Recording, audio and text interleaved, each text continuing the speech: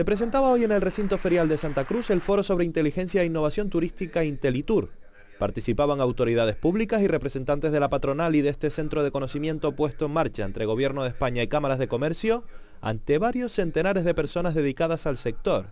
Apuntaba en su discurso el presidente de la entidad cameral provincial, Ignacio González, que los últimos datos invitan al optimismo. Que las compañías aéreas han programado 500.000 plazas más que en los meses de abril, y agosto para Canarias. Esto representa más de un 9% con respecto al año pasado y equivale a la llegada de 2.500 aviones más para nuestras islas, que es bastante. Según el dato que nos facilita Intelitur, las aerolíneas ofertarán 6.200.000 asientos. Sus cifras serán refrendadas por el presidente del gobierno de Canarias, Paulino Rivero, que recordaba que 2010 se cerró con 10 millones y medio de turistas llegados al archipiélago y que se mantiene firme en su augurio de superar esa cifra en el presente año. El objetivo es cerrar este año 2011 con 12 millones de turistas. Ese es el objetivo.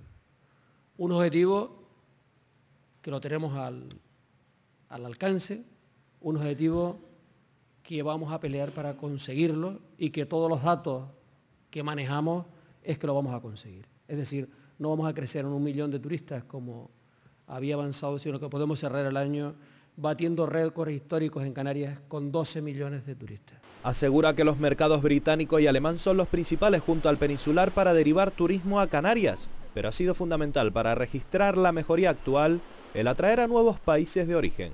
Que en Francia hayamos crecido un 84% en este primer trimestre es muy importante, pero más importante es que las reservas de slot para el turismo francés para el verano sean de un 64% al día de hoy.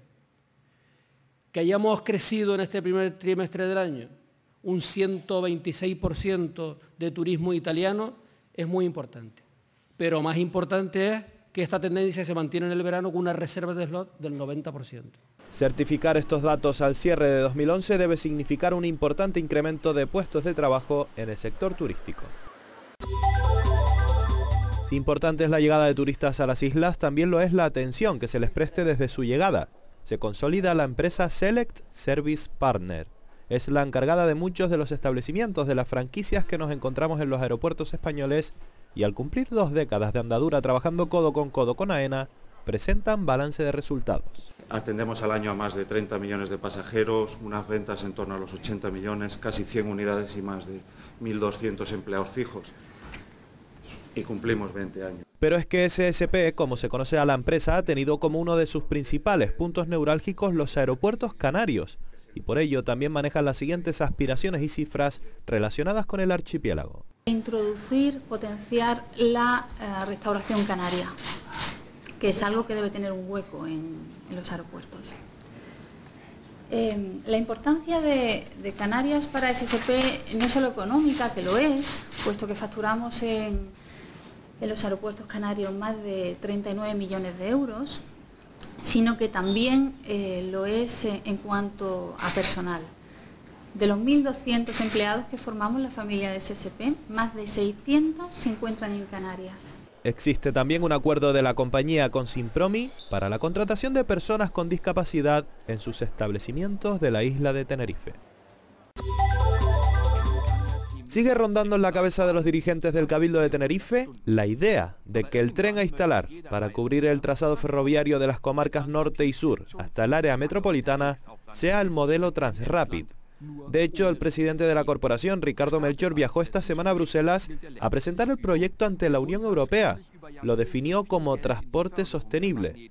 Pretende el Cabildo que la Administración Supranacional sufrague buena parte de la financiación de los trenes, que ronda los 3.000 millones de euros, pues se trata de una alternativa más costosa económicamente que la del transporte guiado tradicional. Entre las ventajas del Transrapid, frente a otras opciones ferroviarias, está el hecho de que consuma menos suelo, permita mayores pendientes y tenga ratios de curvatura menores. Una vez fuera puesto en marcha, también resultaría más barato su mantenimiento, ya que se serviría de energías renovables. Para el cálculo de la velocidad que podría alcanzar este tren, se ha fijado como posible conectar los aeropuertos del norte y del sur en tan solo 15 minutos.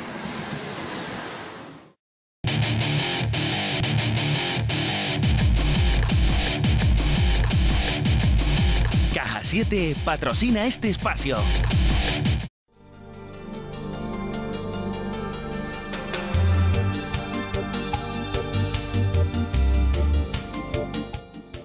Según la Agencia Estatal de Meteorología, se esperan cielos poco nubosos en general aumentando a muy nubosos a lo largo de la jornada de este viernes. Existe probabilidad de lluvias débiles y ocasionales. Las temperaturas tienden a la baja para situarse entre los 22 grados de máxima y los 16 de mínima. El viento soplará variable flojo, tendiendo a componente sur de flojo a moderado por la tarde. En las cumbres centrales podría ser fuerte. En el mar tendremos variable fuerza 2 a 3 arreciando a componente oeste fuerza 3 a 4 en forma de rizada a marejadilla y de marejada por la tarde. Habrá mar de fondo del norte de un metro.